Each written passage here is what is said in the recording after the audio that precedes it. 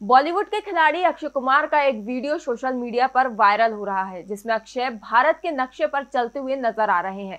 इस viral video में अक्षय के साथ दिशा पटानी, नूरा फतेही, मौनी रॉय और सोनम बाजवा भी ग्लोब पर चलती हुई दिखाई दे रही हैं और अक्षय को इस वीडियो को लेकर जमकर ट्रोल किया जा रहा है। यूँ तो बॉलीवुड के खिलाड़ी अक्षय कुमार देशभक्ति की बातें करते रहते हैं और देश के किसी मुद्दे पर फ़िल्म बनाना हो तो इनका नाम सबसे पहले आता है।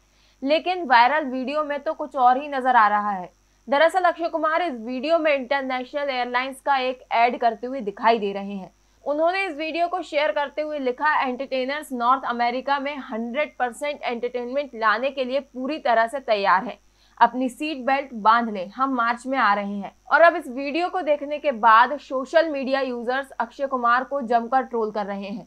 यूज़र्स ने इस वीडियो पर कई कमेंट किए जैसे कनेडियन एक्टर भारतीय मैप पर चल रहा है। ये भारतीयों की बेजती है।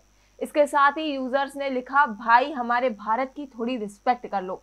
वहीं अब लोग मांग कर रहे हैं कि अक्षय कुमार को इस वीडियो के लिए माफ़ी मांगना चाहिए। वो खबरें जो आपके काम की है।